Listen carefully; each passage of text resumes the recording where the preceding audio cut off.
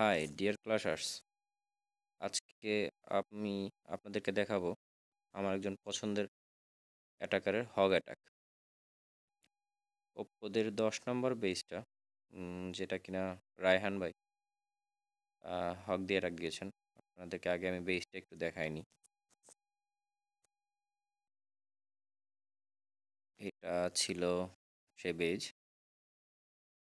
সত্যি বলতে আমিও এটাতে হগ অ্যাটাক দেওয়ার পক্ষপাতী ছিলাম না। বাট রায়হান ভাই অ্যাটাক দেওয়ার পর মনে হলো যে এটা কোনো বিষয়ই ছিল না। চলুন, দেখা যাক অ্যাটাকটা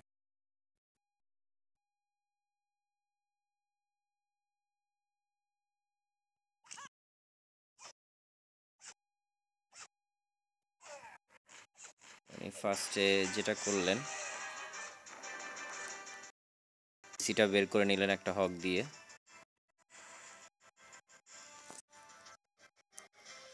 দেন এই কর্নারে নিয়ে এসে আর্চার এবং পয়জন ব্যবহার করে সিচিটা মার মারা ট্রাই করলেন। যদিও এখানে কিছু আর্চার বেশি খরচ হয়ে গেছে বাট আপনারা একটু খেয়াল করে দেখবেন, ওনার হক ছাড়ার স্টাইলটা দুই সাইড থেকে তিনি আক্রমণ করেছেন। ফার্স্ট স্পেলটা ইউজ করেছেন তিনি এবং সেকেন্ড স্পেল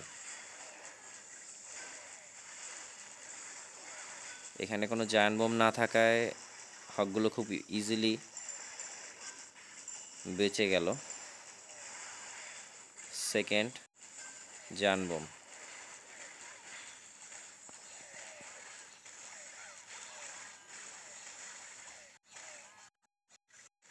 অধিকাংশ হকি থেকে গেল, শুধুমাত্র তার স্পেল ঠিক জায়গা মতো ইউজ করার কারণে।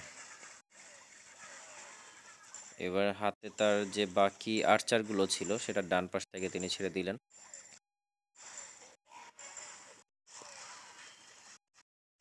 কিং সাইডে কিং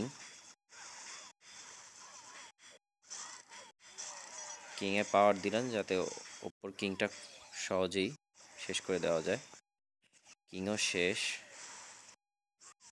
দেখুন কত সুন্দর করে দুই সাইড থেকে ক্লিয়ার হয়ে আসতেছে।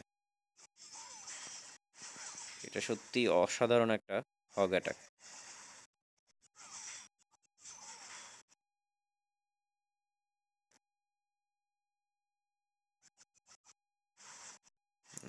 সম্পূর্ণ ট্রুপসটা টিএচ এর দিকে।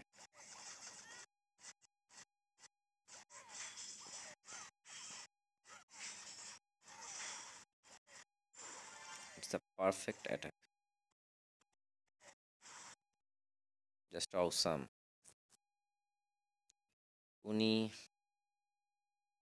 মোটে একত্রিশটা হগ নিয়েছিলেন তিনটা হিলিং স্পেল সিসিতে পাঁচটা হগ আর আর্চার পাঁচচল্লিশটা যদিও আপনারা চাইলে একত্রিশটা হগের জায়গায় আপনি দুইটা বাড়ায়ও নিতে পারেন বত্রিশটা আর্চার হয়তো বা পাঁচটা কম, বা দুইটা বা একটা বাড়ায় নিতে পারেন হগ আর্চার সেক্ষেত্রে পাঁচটা কম নিতে পারেন।